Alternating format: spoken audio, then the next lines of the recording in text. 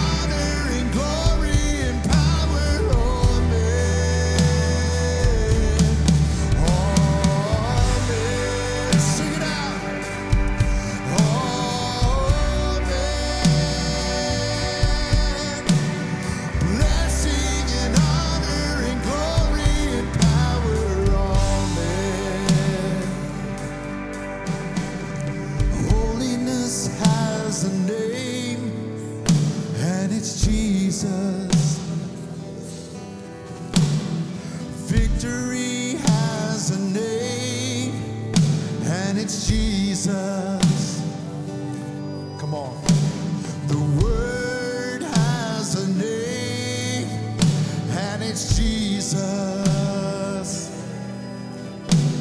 Redemption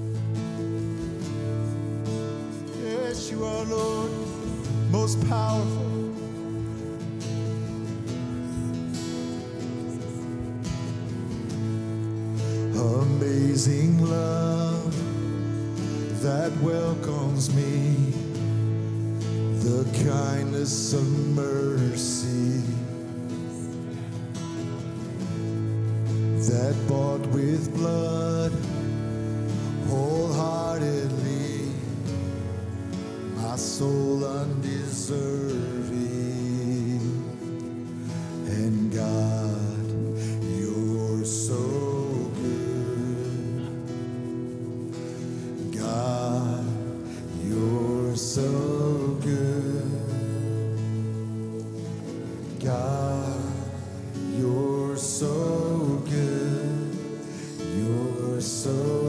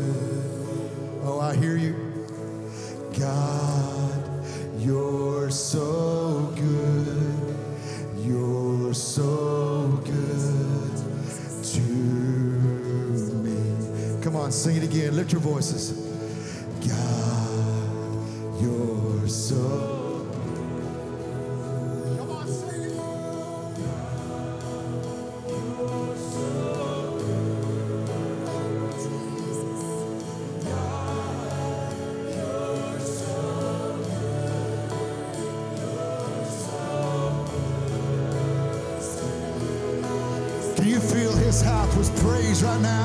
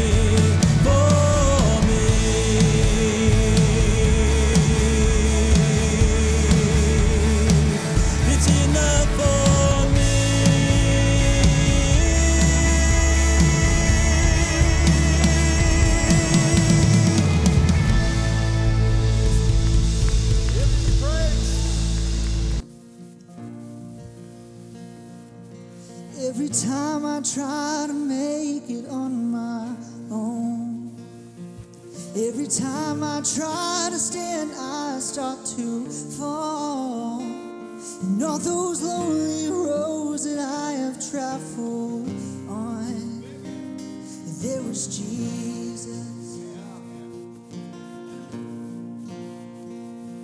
When the life I built came crashing to the ground, and when the friends I had were nowhere to be found.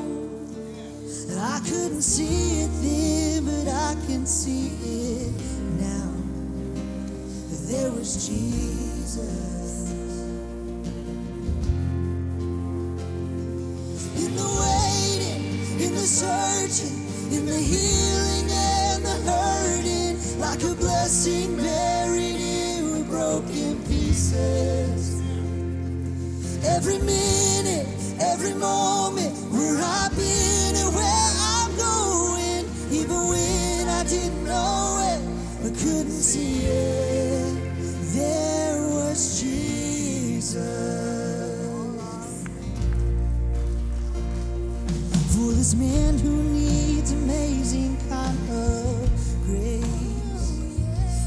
Forgiveness at a price I couldn't pay. No, I'm not perfect, so I thank God every day. Oh, yeah, there was Jesus.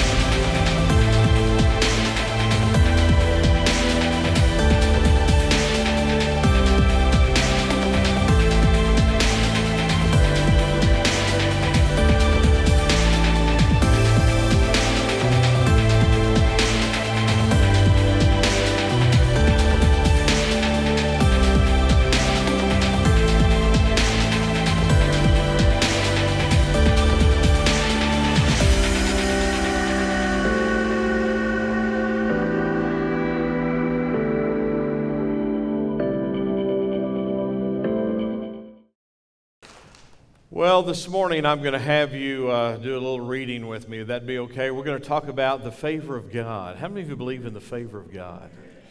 How many of you believe you can walk in the favor of God? How many of you believe we need the favor of God on our life?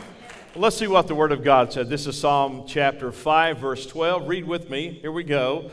Surely, Lord, you bless the righteous, you surround them with your favor as with a shield. That sounds good, doesn't it? God is surrounding us with his favor. Now, this is Psalm 119, verse number 58. Read with me. I entreated your favor with my whole heart. Be merciful to me according to your word. Now, both of those include the favor that you and I can have. So, we're going to talk about that this morning. Let, us uh, pray together. Father, thank you for your amazing word the power of your Spirit. Lord, we just feel your presence today. And God be with us in Jesus' holy name. Amen. You may be seated. Turn to your neighbor and say, I'm glad you're here today. Well, favor is mentioned all through the Word of God. Let me just give you a definition. We have favor, we have grace, we have acceptance. And matter of fact, the same word that appears as favor also appears several times as grace, because grace is what? The unmerited favor of God. And we need the favor and the grace of Almighty God. When you trace the origin of the word back, it means to bend down, to stoop down to help. You know, I, I can't really get up to his level, but God can stoop down to my level and help me. Uh, about two or three weekends ago, we were in Oklahoma City. Our kids live up in that area, and I wasn't here that weekend. So Carrie and I went up to spend some time with the kids and the grandkids. That is always a wonderful time. It's always a very exhausting time for me. Uh, I usually have to take a nap after that. But uh, as we do, we, uh, we, usually take something up. Carrie usually takes clothes. We have toys and gifts and different things. So we, we go up. We spend Friday with Matt and uh, Stephanie and Hartley. And then Saturday went over to see Aaron and Natalie and Riley and Ian. And so we had some things to take to them, and they knew we were coming. So as we drove up in the driveway, there's two little faces pressed against the glass door, waiting for Papa and Cece. And so we go in, and my, my arms are loaded. And, and so little Ian comes up and he grabs my leg and says, Papa, Papa. And he's wanting me to pick him up, but my hands are full. So finally, when I got in loaded with the stuff, I reached down and I picked him up and I brought him up to my level. And how many of you know that's sometimes what God does to us? He reaches down to our level and He picks us up and He embraces us because He loves us. And let me tell you why Riley and Ian and Hartley love Papa because Papa loves them. Let me tell you why you have favor. If you're taking notes, here's number one. Why do we have favor with God? Because He just loves us. God loves you with an everlasting love. Many of you you've heard the story, and maybe you've read the story, and you're familiar with the account of when Israel left Egypt, the land of bondage, and they're headed to the promised land. Now, they had to go through a lot of territory. and You know, they wandered for 40 years. And as they go, they're going through different places and different people groups are there. Well, one group that, that was there when they traveled through were the Moabites. Say that with me. The Moabites. I don't hear much about them anymore, but the Moabites were there, and their king is the king called King Balak. And they didn't want them in their territory, they didn't want them in their land, even though they were just passing through. They had heard what God had done to the Egyptians. They had heard about God parting the Red Sea. Now they're fearful because the people of God now at their front door are going to pass through. So what Balak does, he hires a prophet, a diviner, a soothsayer, if you will, to come and curse the people of God. And so there's a lot of money involved here. So he hires this guy by the name of Balaam to curse God's people. So, picture in your mind, here's the interchange, here's the request, here's the money being, you know, transacted here. So, what happens is Balaam goes and he gets up on a high place and he's looking over this vast people, the people of God, and he is hired to curse them. But this is what Balaam said. He said, I can only say what God has me to say. So, I want to give you just some of the words, this is not all of them, but some of the words that Balaam spoke over the children of God. Here we go. How can I curse whom God has blessed? God has blessed and I cannot reverse it. The Lord God is with Jacob. He sees no wickedness in Israel. The shout of a king is among them. He has strength. There is no sorcery or divination that can be used against them. This people rise up like a lion ready to devour its prey. How lovely are the tents of Jacob! His king shall be exalted. He shall consume the nations and all his enemies. Blessed is he who blesses you, and cursed is he who curses you. Now, Balak, the king of Moab, he's furious because he hired him to curse them, and everything that came out was what? Blessing. Now, I love the first line How can you curse whom God has blessed? How many of you know you're blessed? Because you're a child of God. Now, I want to give you just a, a remnant of this story found a few days later. This is in Deuteronomy uh, chapter 23, verse 5. Now, Moses is saying, The Lord your God would not listen to Balaam. But the Lord your God returned the curse, turned the curse into a blessing for you because the Lord your God loves you. So, why did God do, do that? Because He loves you. How many of you know God cares about you? And He cares about me. Now, the second reason we can have the favor of God is for mission and purpose. Say that with me mission and purpose. So, God has you on a mission. He has you for purpose. It may be in your school, maybe in high school, junior high, could be on the job, could be in missions, could be right here on staff, it could be among your family. You have a mission that you're on for God. Many years ago, I was uh, going to Mexico for a mission trip. Been there a few times, and this time I'm going to the southern part of Mexico, and I'm flying from the United States into Mexico City. The uh, uh, let me give you the Benito Juarez Airport, Mexico City. Now, Mexico City has almost 10 million people. And there's like 22 million people in the environment, just the suburbs of Mexico City. So here I am. I'm flying into Mexico City. I have a tight schedule. Got to connect planes. I've got to meet uh, someone there uh, Dr. Dale Yurton, who's going to meet me in Mexico City. We're going to get on another plane. We're going to fly down by Guatemala uh, on the Mexican side, and we're going to spend a few days, about a week, in ministry there. Now, I'm coming on an international flight to a foreign country. I have to go through customs. Now, let me tell you, I speak no Spanish other than taco, burrito, stuff like that. So I, have got to connect there. I don't know if you've ever went through customs in a foreign country, but it can be pretty treacherous. Here's a picture of what the airport looks like when you go through customs. Hundreds of people flying in from all over the world, a lot of uh, you know Hispanic people, Native Mexicans that have been out of the country, they're coming back to the country. I'm in, I'm in, I'm in that group, and, and, and you, you know that not all air flights are on time.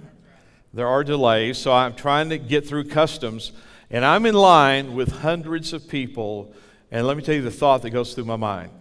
I'm not going to make this next flight. I'm not going to meet Dr. Yurton because there's no way I'm going to process through this many people in this amount of time. So this is on my mind. I thought, Lord, if I'm going to get there, you're going to have to help me. God is my witness. I'm in line. There is a lovely Mexican lady who is from customs. She comes up to me in this group and she says, Sir, we're starting a new line. Would you like to get in the new line and everybody follow you? I said, Yes, I would. So she takes me to, to another little booth, show my passport, get it stamped and, and I have to go through. They have to look at your luggage. I get out of that. I meet Dr. Yurton in the airport. This is what he says to me. He said, I'm glad you got here. You were almost late. We're going to miss our flight if we don't. I said, You don't know how late I was almost, uh, you know, through this whole process. You know what that is? That's the favor of God. I believe you can have that same kind of favor in your life. Now, why? Because you're on mission, you're on purpose for God. Now, you say, well, what if I'm not on mission, not on uh, a purpose for God? Listen, you could have that, but it's much more uh, available to you if you're walking in the mission of God, if you're doing the purpose of God. Uh, Pam was in the uh, early service this morning, and I said, uh, Pam, I'm going to tell a story about your mom and dad today. And she said, Interesting, today is the anniversary of my dad's death. I said, That is interesting, isn't it? In Mexico again, Dorothy and Grady, they were flying back to the United States and they're getting ready to board a plane. Now, if you've ever been in a foreign country, not every airport connects you through the ramp into the door. Sometimes you got to go across the tarmac, go up the steps, you know, get in the plane. Well, somehow they had lost their boarding passes. And you cannot get on the plane without a boarding pass. So they're ready to get on the plane. They cannot find their boarding passes. You know, he's looking, she's looking. Whose fault is it? You know, that can be a marriage problem. I'm, I'm just going to tell you. So they don't know what happened to the boarding passes. And Grady says, let's get in line. Let's see if we can get on the, air, on the airplane. So they, they, they leave the airport. There's a short walk across the tarmac uh, to the steps leading to the plane. And they said we're about three or four people behind. People are giving their boarding passes, and there's a stewardess there at the steps taking the boarding passes. As they, all of a sudden, a big gust of wind blows across the tarmac by the airplane, and several boarding passes are blown out of people's hands, and they're fluttering down the runway. And when they got there with no boarding passes, the steward says, Oh, that's okay. Some people had them blown away. Just go ahead and, and get on the plane. How many know that is the favor of God? You need the favor of God. I need the favor of God. Let, let, me tell you why. Because there's things I cannot do in my own strength, my own knowledge, things I cannot pull off, and God has to come and help me.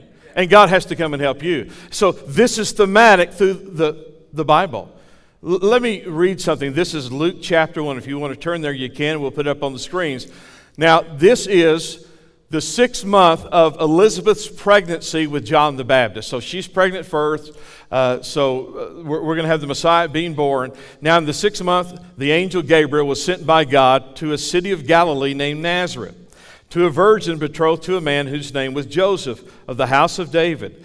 The virgin's name was Mary, and having come in, the angel said to her, Rejoice, highly favored one, the Lord is with you. Blessed are you among women. But when she saw him, she was troubled at his saying and considered what manner of greeting this was. Then the angel said to her, Do not be afraid, Mary, for you have found favor with God. What's happening to Mary? She's on mission to give birth to the Messiah. And guess what she has to have? She has to have the favor of God in her life. Whenever you're on mission, whenever you're on purpose, then God can put the favor with you so that you can accomplish what He sent you to do. Can I hear an amen to that? You know, when Stephen is given his apology in Acts chapter 7, he refers to Joseph, and, and this is not only found in Genesis, it's found in other places in the Bible. Do you know Joseph walked with favor? He, he walked in the favor of God. Matter of fact, the first story that we see about Joseph, the, the first account is Joseph is wearing favor. Think about this.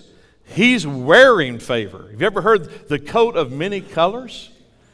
Given by his father because his father what? Favored him. And he's wearing favor. Not only is he wearing the favor of his earthly father, I'm going to tell you, he's wearing the favor of his heavenly father. Because when he's sold into slavery, he ends up at Potiphar's house in Egypt, and Potiphar gives him favor because he's running all of Potiphar's estate. There's a line in the Bible said the only thing that Potiphar understood is what was set before him because Joseph handled everything else. But obviously, he got in a little bit of trouble, right? Because Potiphar had a Hotiphar, and she, she accused him of a sexual advance, what he did not do. Then he goes to prison. But in prison, he had favor. Because after a while, what's he doing? He's running the entire prison. And, then he gets favor by someone who's in prison. He appears before the Pharaoh. God gives him favor with the Pharaoh of Egypt. Now he's running the entire country of Egypt. How many of you know there's favor, there's favor, there's favor, there's favor? Why? Because Joseph is on a mission. He's called for a purpose. He is going to keep the seed and the bloodline of the Messiah alive by feeding that family in his position in Egypt. There's favor there. When you're on mission for God, when you have a purpose, God can give you favor. Here's the third thing when we live within the parameters of God's love and when we live in God's Word, it brings us favor. How many of you know that God has favor when you live in His Word and you live in His love? Now, when my grandkids come to my house, I love them. But at our house, at Pop and Cece's house, I don't even know there's some parameters? And God has some parameters. I want to say this, and I want you to take it with the, the love that I'm saying it. Some of you are struggling. Some of you are going to continue to struggle because you're not in the sweet spot that God wants you to be in. God wants you to be in a sweet spot. He wants you to love Him, and He's going to love you, but He also has parameters of the Word that He wants you to abide by. They're, they're the guardrails of your life. And if you get there, you're going to be in a sweet spot. It's going to be much easier for you and I to live in the favor of God if we are living in the parameters of His love and His Word. And sometimes the, the love of God is really exampled in the Word of God that disciplines us and brings us into accountability. Can I hear an amen? So we need to know what pleases Him, we need to know what displeases Him. So both are very important. Um, last week, I, I had the uh, opportunity to be at the hospital a couple of times, and so I went by the coffee shop and got Carrie's favorite coffee and went in to the volunteer and gave her the cup and said, Would you take that back to Carrie? And so the volunteer took it back to her, and that happened twice. And listen, I'll take all the favor I can get in marriage. Uh, guys, let me say that again. Um, I'll take all the favor I can get in marriage. So the first time I did that, I, I, went there in the the area where you wait for surgery, and I gave it to the volunteer and said, "Would you take this back to Carrie?" And as I turned to walk away, there were three women sitting against that wall in those chairs, and, and one of the ladies said, "Isn't that sweet?" and, and I, I just remember she said, "Isn't that sweet?" Now, I didn't take coffee to everybody in the hospital because uh, I don't know everybody in the hospital, but I did do it to her because she has my favor. And listen, if you have God's favor, then some things will happen to you that may not happen to everybody else. How do you believe that? I mean, and that's absolutely the truth. So we, we need to love what God loves. We need to hate what God hates.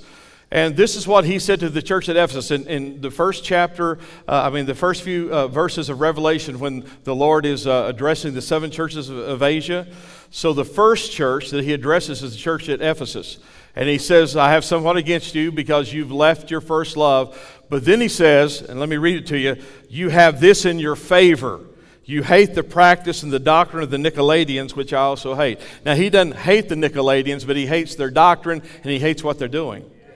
How many of you know God loves the world, but sometimes He hates what the world is doing? Now, that's not my opinion, that's what the Word of God says. So, if I stay in the love of God and in the Word of God, the parameters of God, then the favor of God is going to come upon my life. This is Proverbs chapter 3. This is a chapter that many of you know. Trust in the Lord with all your heart, lean not to your own understanding. But let me read the verses that go before that. Verse 1 My son, do not forget my teaching but let your heart keep my commandments, for length of days and years of life and peace they will add to you. Let not steadfast love and faithfulness forsake you. Bind them around your neck, write them on the tablet of your heart, so you will find favor and good success in the sight of God and man. Now, these are the key words here. Let me just rehearse them teaching, commandments, steadfast love, and faithfulness. Let me say them again. Teaching, commandments, steadfast love, steadfast love, faithfulness. He said, Let them find their way into your heart. And if you find them in your heart, let me tell you what it says, you will find favor and good success. Does anybody here want to have good success? Absolutely. He said, You apply these, let them go down in your heart. You're going to find favor with God and good success. Now, everyone can see this available to them young people, old people, middle aged people. You can have that kind of favor and success. He says, if you do these things. And most people want to have good success. And you never know when that favor is going to catch up with you, or where it's going to manifest, or how it's going to come. About six or seven years ago, I was going to buy Carrie a new car for Christmas, which is a little unusual for us because uh, if we usually buy a vehicle that's a little older, maybe 10,000 miles, 20,000, let somebody else take the hit of the new. But uh, I was going to buy her a new car for Christmas. That was going to be her Christmas present. So I went to the dealership and uh, deal with Gene, which I do pretty often. And uh, Gene's very honest, a nice guy. And and I said, Gene, I'm going to buy Carrie a car for Christmas, and this is what I want. This is what I want on it. And he said, Well, Mike, let's do the deal. So we're in there at Gene's desk, and we're getting ready to do the deal. And all of a sudden, the owner of the dealership walks in. Now, he owns about four dealerships in the state of Oklahoma. And uh, so I'm in there with Gene, and, and I've known the owner of the dealerships uh, ever since he was a kid. And he walked in, he saw me, he, so he came over. He said, Mike, what are you doing here today? And I said, Well, Randy, I'm buying Carrie a car. He said, Good, let's buy her a car. So he took all the paperwork away from Gene. And he said, Okay, let, us write this up. Let's get Carrie a car. So he writes it up.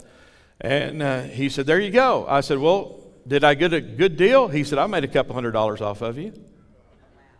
So let me ask you a question. What are the odds me being there that day in the dealership, and the owner of the dealership walks through the door, takes the paper away, does the deal for me. That's the favor of God. Does anybody here believe in the favor of God? Can you believe that God would give you favor also? I believe that. Matt and Stephanie, I, I have little Hartley who's about five months old almost. And uh, if you've a new, new parent, you both work and they both work up in Oklahoma City. They're both attorneys, and so now they're really concerned about daycare. I mean, they're going to turn their new little baby over to somebody they don't know, daycare. So now they're calling to get into daycare. And there's one place they want to get in. It's called St. Luke's, I think. It's kind of downtown. A lot of professional people work there. And so they call and they said, you know, could we you know, get in, and they said there is a year and a half waiting list. A year and a half. And they're pretty discouraged. And let me tell you how I pray for my kids, and maybe you could start doing this. When I pray for my kids, I say, God, give me, uh, uh, you know, just, just what I need to do to help my kids and, and to bless my kids. And God, give my kids favor with you and with men. If you don't pray that, you need to start praying that. God, give my family favor with you and with men. That's very scriptural. So I pray that. So, about a week and a half ago, two weeks ago maybe, Matt calls me and says, Dad, the daycare called, said they had one opening, they'd let us have it. So, from a year and a half, about a week and a half later, they get into that daycare. So last week was Hartley's first week in daycare that they thought that they couldn't get into. Favor of God. Listen, I'm talking to you about the favor of God. It's real. And you can have it. You, you say, well, what hoop do I have to jump through? I mean, what? No, listen. God gives you favor because He loves you. God gives you favor because you're on His mission. You're, you're on purpose here, and God can give you favor because that's what the Word of God says. Can I hear an amen? Now, here, here's the fourth one God can give us favor when we seek wisdom. When we seek wisdom. Now, we're not talking about just book learning, we're talking about the wisdom of Almighty God. Now, this is Proverbs chapter 8. And, and ladies, I, I just want to tell you something very special here. When Proverbs 8 comes across in the Bible, let me tell you, wisdom is personified here. So, what we see is wisdom that is coming across like a person. So, wisdom is personified, but here's the kicker it's personified as a woman.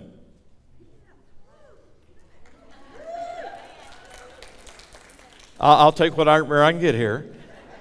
But this is true. Wisdom is personified as a woman. Listen as I read. Does not wisdom call? Does not understanding raise her voice? Verse 12, I, wisdom, dwell with prudence, and I find knowledge and discretion. Verse 33, hear instruction, be wise, do not neglect it. Blessed is the one who listens to me, watching daily at my gates, waiting beside my doors. Whoever finds me finds life and obtains favor from the Lord. So when you seek his wisdom, guess what comes along with his wisdom? The favor of the Lord. Now, how do we get wisdom? Good question, Pastor. Glad you asked. We get wisdom from his word. We get wisdom from the leadership of the Holy Spirit, and we also get wisdom from experiences. Let me say that again. We get wisdom from the Word. We get wisdom from the unction and the leadership of the Holy Spirit because the Holy Spirit is going to become what? Our teacher and our guide according to Scripture. And thirdly, just some good practical experiences will give you wisdom. So when you get that type of wisdom, guess what happens? You continually and more and more walk in the favor of Almighty God. Now, listen, it's not just for us here, for those who are watching online, it's for every born again believer. We can walk in the favor of Almighty God. And the more we learn, the more we experience, the more we're exposed to, that favor just comes more and more and more and more. Listen, you and I need the favor of God. We cannot accomplish this by ourselves. You're not that good. You're not that qualified. You need God's help, and it comes as favor. And grace is the unmerited favor of God. Now, here's the last one favor comes to you and I as we live a faithful and righteous life. As we live a faithful and righteous life. I'm going to take you to Genesis chapter 6, but I want to preface by saying this. Any righteousness we have is from God. You know that. There are none righteous, no, not one. But your righteousness and my righteousness comes from God. God imparts that, He imputes that by faith to us as we become believers. His righteousness becomes ours. We're walking in the righteousness of Almighty God. Now, as we understand that and as we embrace that, then what comes along with that is God's favor. This is verse 7. So the Lord said, I'll wipe from the face of the earth the human race that I've created and with them the animals, the birds, the creatures that move along the ground, for I regret that I've made them. But Noah found favor in the eyes of the Lord. This is the account of Noah and his family. Noah was a righteous man, blameless among the people of his time, and he walked faithfully with God. Did you see it? Noah received favor because he walked in righteousness and he walked faithfully with God. So when you walk in righteousness, when you walk in faithfulness to God, what can you expect? According to Scripture, you can expect favor. Now, does that mean Noah was perfect? Not at all. If you read his story, he was less than perfect. But because he walked with God, he strove to be a righteous person, he wanted to be faithful. Guess what happens? Our faith is accounted to us, according to Scripture, as righteousness. That righteousness gives us what? Favor with God. The whole world is destroyed. Noah found favor and he survived. You and I can survive things that other people who don't have the favor of God cannot survive. I'll tell you why. Because of that favor. Now, I don't know how important you think this is this morning, but I cannot really stress to you how important it really is. Because there's going to come a moment in your time uh, in, in, your life and, and a time where you think, how in the world am I going to get through this? How's this going to come about? It could be in your marriage, it could be with the kids, the grandkids, it could be in finances, it could be with your health, it could be with anything. And all of a sudden, something shows up you didn't expect. Almost miraculously, you get through something, you get something, you, you process something, and you thought, How did that ever happen? Let me tell you how it happened. It was the favor of God. God supernaturally showed up and did something in your life that you could not do on your own. It is thematic through Scripture. When Peter's in prison and he is jailed, do you know there was a lot of other prisoners in that jail? But I just read in that account, only one, the chains fell from him and the doors automatically opened in front of him. Only Peter walked out. Why? Peter was on mission for God, and the favor of God was on his life. When I showed up at the hospital, only one nurse got a cup of coffee from me.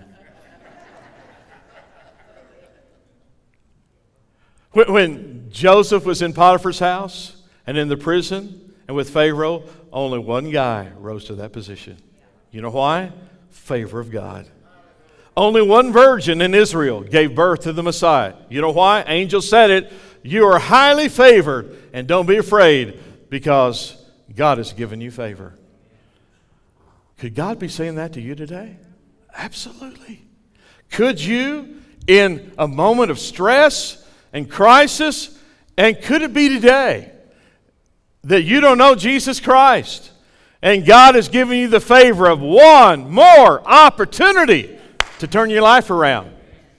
And you may be here today and say, Listen, I, am hearing you, and it seems like my life hadn't been going so good. Well, here's the good news you can turn this thing around today by accepting Jesus, living in the parameters of His Word, accepting His divine love for you, and things can begin to change in your life. Amen?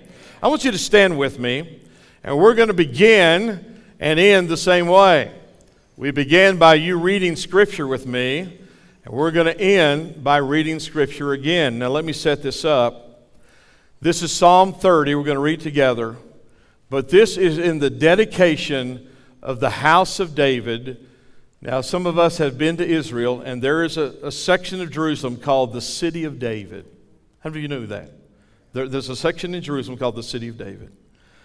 For me to say David was perfect, you would all just smile at me. How many of you know David was ornery? He, he did some pretty rough stuff. He committed some egregious sins. Now, this is, as we read, the dedication of the house of David. Listen to what he says. Would you read it with me? For his anger lasts only a moment, but his favor lasts a lifetime.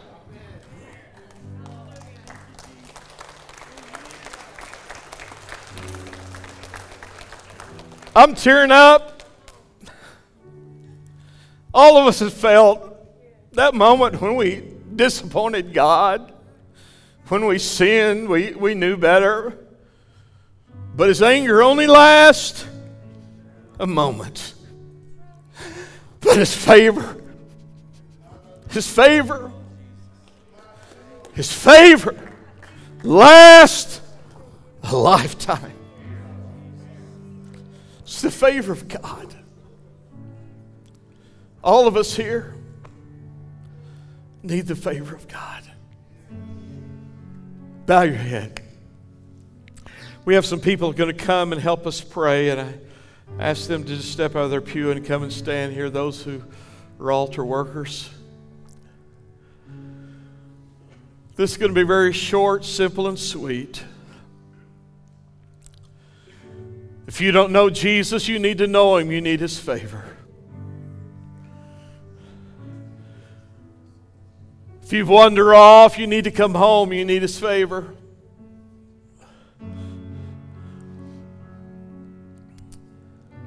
This morning, if you uh, are in a crisis, could be you're sick, maybe that you're. Uh, having some problems at home. Could be marital problems. Maybe there's a wayward child. Maybe there's some financial issues you face. When you come up here today, no one will know what your issue is.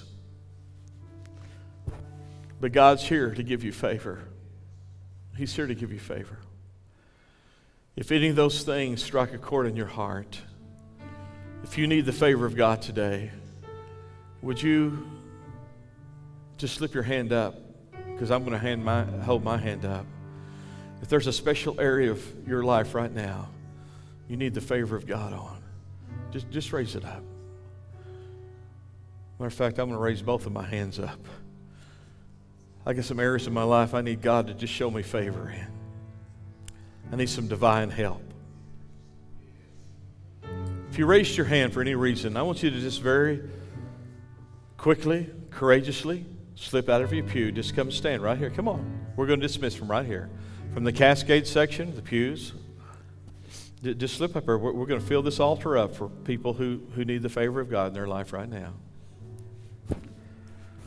Going to come up here and stand. We're going to pray together. Don't know what you need, don't know what your issue is, don't know what your crisis is, but I know this God can give you favor. Let me tell you, I, I feel this way down in my heart. I, I feel the power of the Holy Spirit today. I don't know what you're feeling, but I feel like God just wants to bless somebody, give somebody some favor today.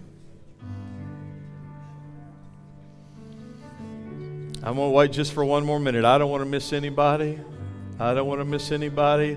This, this may be your breakthrough today. This may be the moment this turns around for you. This may be the time where God shows up that you didn't think He could show up. This may be the moment that this thing completely changes your whole life. You're going to wait. Don't miss it. Let me tell you one last story before we pray. The Lord showed up in Abraham's life. And Abraham said, Lord, don't pass me by if I found favor in your sight. You ever sang that old hymn? Pass me not, O gentle Savior. That was Abraham's cry.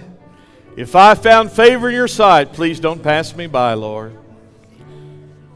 If you'd like to help us pray, I need about 100 people to come and help us pray right now. We got people all over the front of this church. Would you come lay your hand on their shoulder? Would you stand with them? Let's pray with them. Let's encourage them. I believe God's going to give them some favor today. God's going to give them a blessing today. The favor of God is falling in the house today. Come on, let's pray. Father, right now, in the name of Jesus, for husbands and wives and fathers and mothers. God, for those who feel broken, those who feel like they're in a struggle, we pray for your divine favor. Rest upon their children, their grandchildren, rest upon their body. Let your favor of healing come. God, we love you, we praise you. Let favor come, Lord. Let favor come, Lord. Turn this thing around for people. Hallelujah. We bless you, Lord. Great is our God and greatly to be praised. The favor of God, the blessing of God. Lord, we love you today. We love you today. Great is the Lord. Great is the Lord.